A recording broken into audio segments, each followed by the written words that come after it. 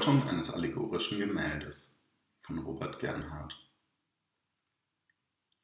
Fünf Männer seh ich, inhaltsschwer. Wer sind die fünf? Wofür steht wer?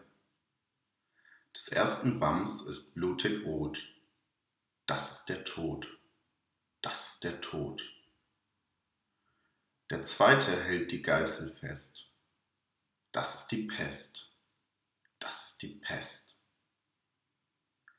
Der dritte sitzt in grauem Kleid.